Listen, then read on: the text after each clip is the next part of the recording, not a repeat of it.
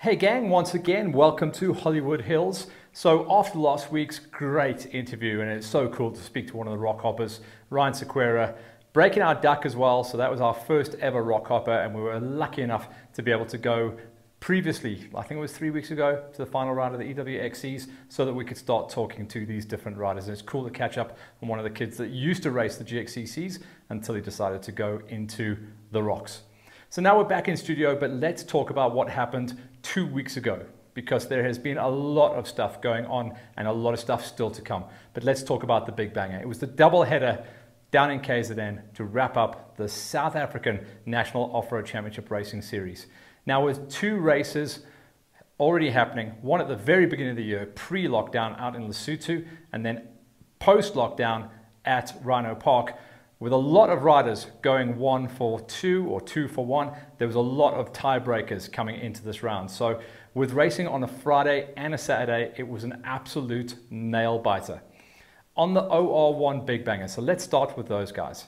It was tied on points for the lead of the OR1s between Kenny, who won at Rhino Park, and Charan, who won at the opening round. And of course, off the back of opening at the winning at the opening round, Charan actually signed the deal to ride for the factory KTM squad. So that was how big a deal that was.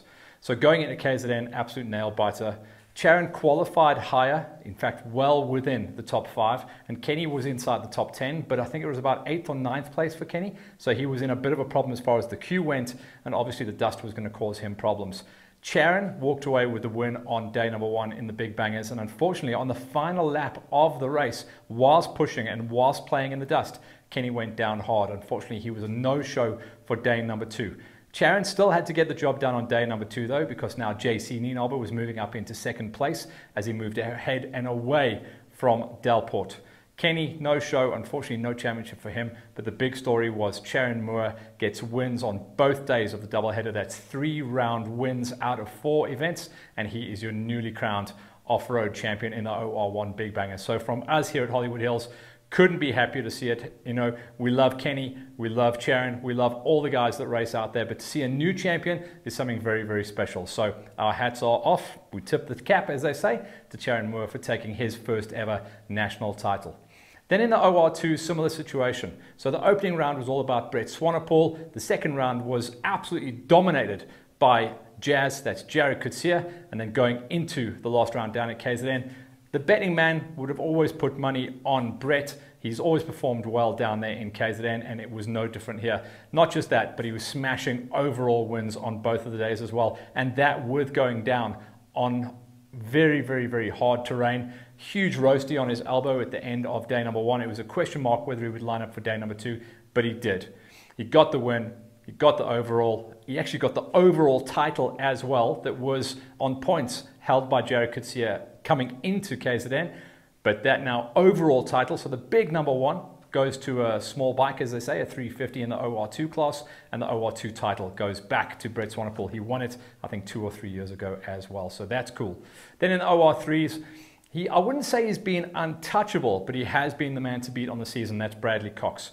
So Brad Cox is the number one plate. He carries the championship forward from 2019 but he's been pushed extremely hard. Some would say harder than he's ever been pushed, and I don't know if this battle is going to continue or whether Cox is going to get promoted up to the 350 class or stick with the 250s for next year, but we'll watch the press for that, as they say.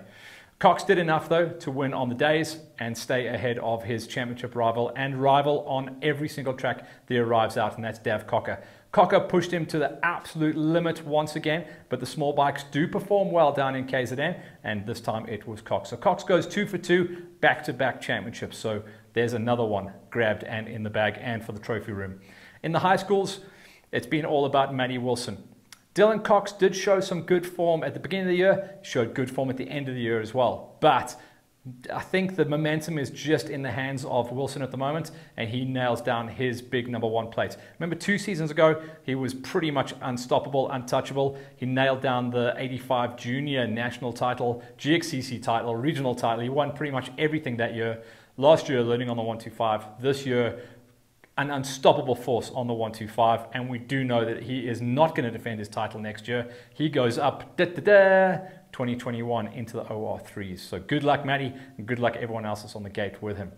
Then in the age group categories, let's start with Farmer. So Farmer opened his accounts with a win in Lesotho on the Smoker. Then in the off season, the forced off season lockdown as we like to call it, he moved across into the big 450. So it was a big change for Wayne. And then coming into Rhino Park, we weren't sure if he was going to gel perfectly with it. It didn't look like it was a perfect fit straight out the gate because Peter Hall hammered him. Wayne did look like he was nursing an old back injury, but he still managed to get that second place. So going down to KZN, Wayne had to get it done once again.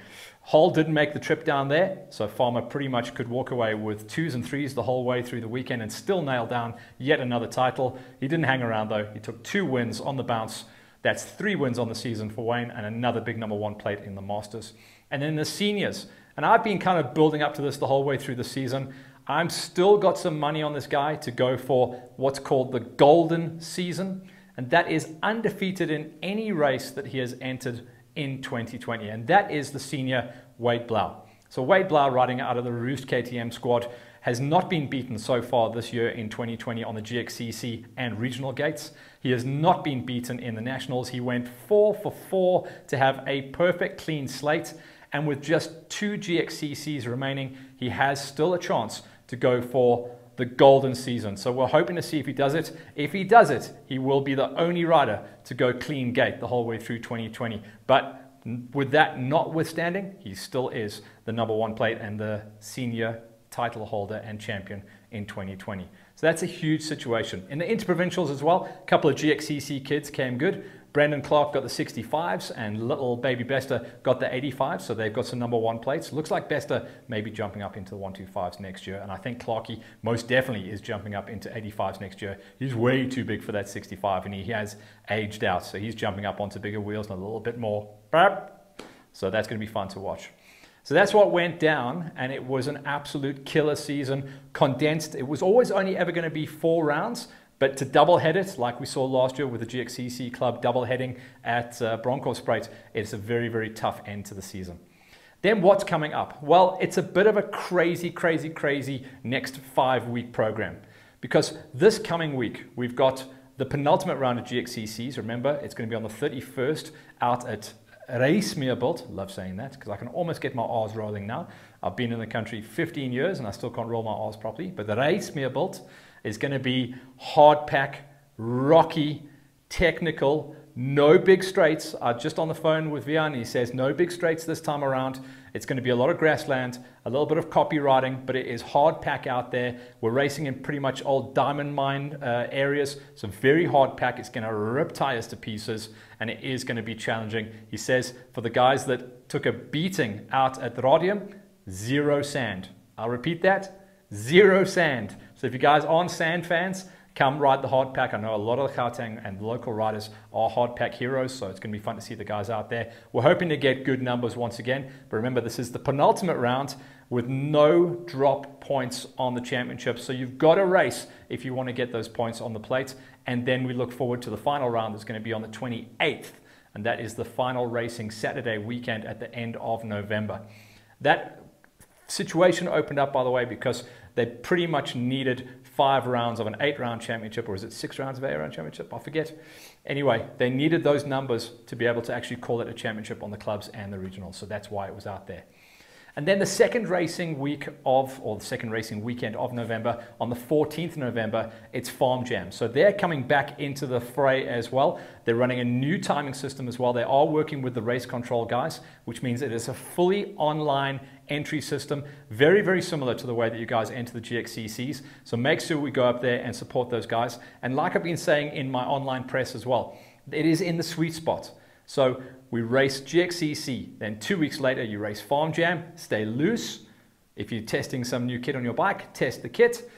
Stay fresh, stay healthy, stay solid. Then two weeks later, again, we race GXCCs. And then two weeks later, we race the roof. So I'm in talks with Chariot at the moment to see if we can nail down a roof, get up there, make some noise, and bring Hollywood Hill Productions to the mountains of Lesotho. But that is what is going down. So make sure you get those entries in for the GXCCs.